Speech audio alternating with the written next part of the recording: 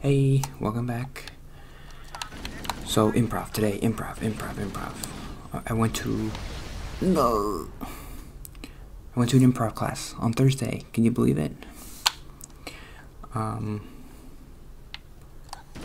And this is it. I, I don't know why. When I did the Improv 101 class, I didn't feel. I don't know, like that great about it or whatever. But when I did this class yesterday, which is so I did improv 101 and then this was imp improv level 1 class which is 4 weeks long.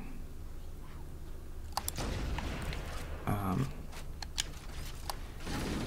and I was like this is it. This is my thing. This has to be my thing to make me better.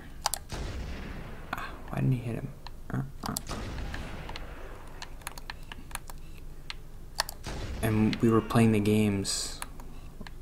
Specifically during one of the games, I remember smiling like, "This is freaking it. I mean, this is it. This is how I get better. This is how I be who I want to be." It's improv. It sounds so stupid. like this, the games were so perfect for like, I don't know. Part of me is like, whenever I hear the game, I'm like, oh my god, this is so perfect. I'm gonna hate it. I'm gonna hate this game so much. It's it's perfect for me. Um,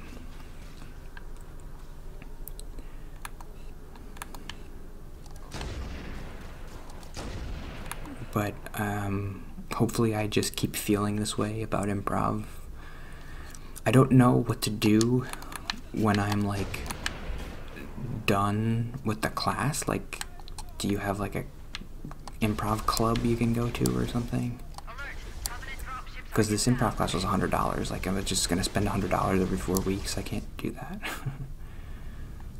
but I need to do improv every week until I get like to where I want to be. I need to do that.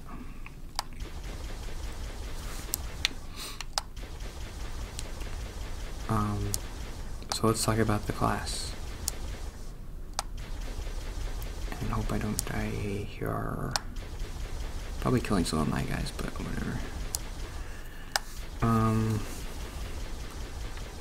a lot of good stuff. A lot of good stuff. So the thing, let's talk about the thing I like the most about the classes, which is we started off with a couple of the same games that I didn't like, which were the the game that I didn't like is the game where you you you have an imaginary ball and you make a noise and I'm gonna die. Oh god, please don't kill me. I'm just gonna get off this thing. Ugh, I think I got him. Uh oh. Here they come. I don't wanna die. I don't wanna die. I didn't like that game. You throw the ball, you make a noise, and then when you catch the ball, you have to make the same noise as the person who threw the ball, and then you have to make a new noise and throw the ball to somebody else. Um, and I didn't like that game. Because it's weird to make noises. I don't want to make a noise. Oh my god, how many guys are coming? Are you kidding me with this? I'm gonna die. Um, but we started to play more games, and I started to get more comfortable with the game of it, like the gaminess of it. Um, I want to say this right. Oh my god, it's the big boys. I forgot about this part. this is hard. this is not uh, like bagel. I remember if you um, if you melee them in the back, I think that hurts them a lot. Am I crazy? Oop, I died. I want to put this on easy, but I don't know how. Give me a second. I want to. Okay, good. Uh, hold on. Um.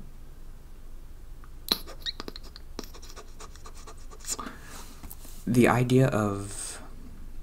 I don't know why this didn't hit me as well in the first improv thing that we did. But the idea of building on what the other person is doing, um, this is hard. Okay, I got one down, one down. Sorry, don't like getting distracted.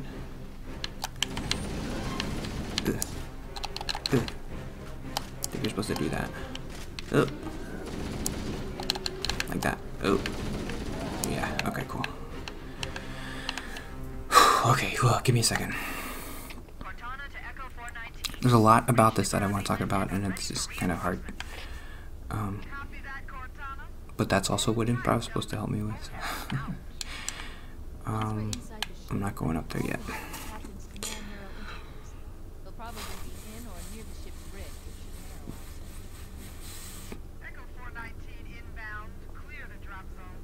Well, here's one aspect that I can talk about. Um, I don't know. No, I want to talk about the the so he, the idea of building Im, improv. Like, okay, it's building one brick at a time. That's the thing that he said. When you do improv, you're building one brick at a time. So you put something down. You just say whatever. Then the other person takes a brick and they put it down. Then you build off of that. You put a brick on top of that. Um, for some reason, it's helping me like this perspective of not just having to put it all on yourself and just just don't even think about what to say. Just whatever that person says, just be like, okay, build off of whatever they said.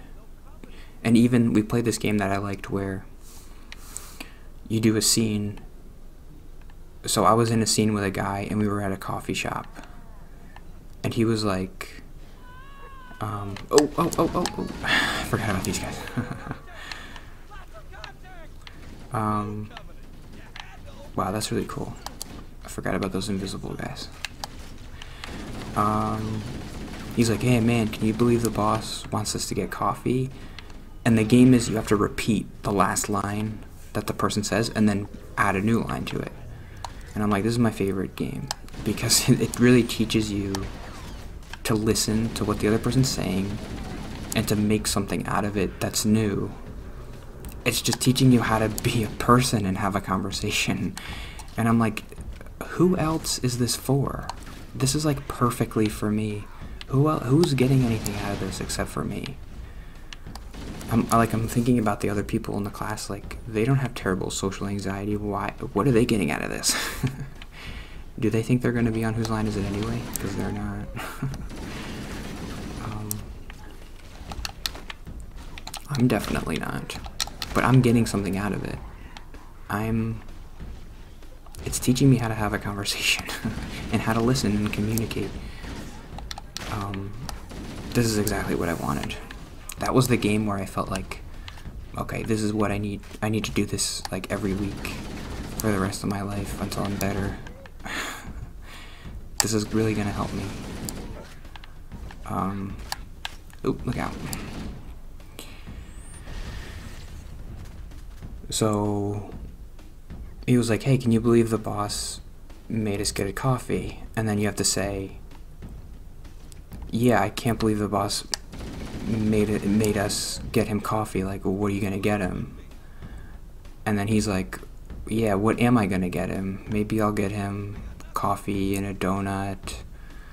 Um, I'll try to get him something nice so we don't work again, work late again this today. And I'm like, yeah, we have. To, I hope we don't have to work late again today, because I had to work until 10 o'clock yesterday. And then he says, yeah, I, I, you had you had to work till 10 o'clock yesterday. I had to work till 11 o'clock. And then that's the game. Like, you have to take what the last person said, repeat it, and then make a new thing. Um, it's a little bit easier because you can just make up whatever you want. In real life, obviously, you can't make up whatever you want. but, um, the, the, just the game of it is, is fun. Like, making conversations fun. It was fun to try to think of something. Um, because whatever you said was right. You didn't have, you could never say anything wrong.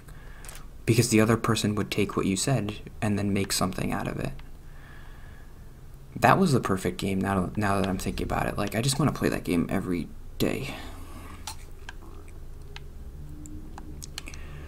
Um, my computer is glitching. Are you recording? Okay, because it didn't record yesterday. Um,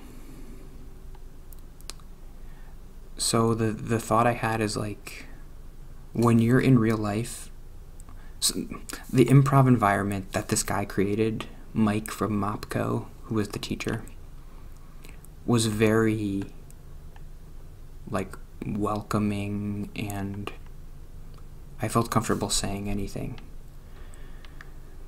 And I think any good improv person, like that's how they make you feel. Like whatever you say, you can't be wrong because I'm going to build on top of it.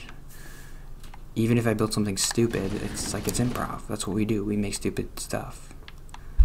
Um, I think the only the only thing that I don't like is trying too hard. Like if you're trying too hard to make jokes, and I kind of got that impression from the teacher, Mike.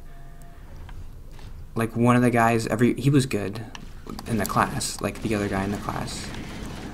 He was doing good, but every once in a while he would maybe try to force a joke a little bit too much. And I got this like Mike is the teacher was a good guy, but I got the sense that he was like, don't like don't force it, just let it go. And it seemed like that was the only thing that you could do that was wrong is like force something. Just be natural and say the first thing you think of. Don't try to like think of a clever joke. Don't do it. Where am I going? Oh. Um, but other than that, like you couldn't say anything wrong. Like it does feel in real life that you can say something wrong. It's not a friendly environment. It's not like a comfortable environment when you're around people and you're like, I. Here's the thing. When I was in the improv class, I didn't feel like I was alone.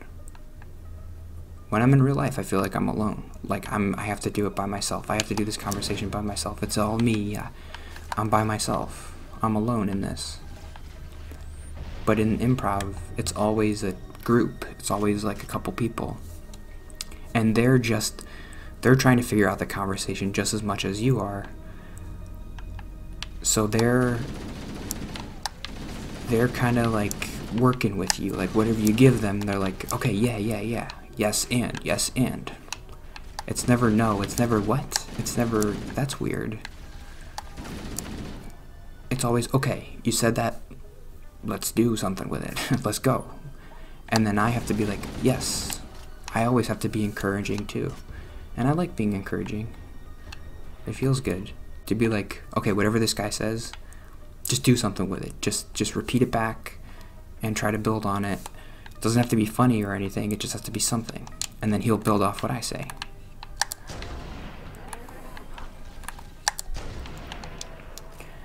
Um, okay, that's it for today. I'll talk more about improv tomorrow. It's going to be a lot of. Hopefully, I got to an interesting point eventually there. Because it is. That, yeah, that game was the best game. And then we played games like kind of similar to that. And every time we kept played those games, I was like, yes, this is it. I have to. This is going to help me. I've been looking for this, really. I, this is what I've been looking for. because it's been so frustrating like going to therapy and then going to like the board game thing and being like is this gonna be the thing this is what i was looking for i don't think i could find anything better than this and i, I was like smiling when we were playing that game because um, yeah, yeah i'll end in a minute but um so we played that game where we did a scene and we were in the coffee shop and um, the teacher Mike and the other girl in the class did a scene first before us, and when they did their scene, I was smiling. I was because I was like, "This is it. This is exactly what I need. This is perfect." um, and I felt happy. See you tomorrow.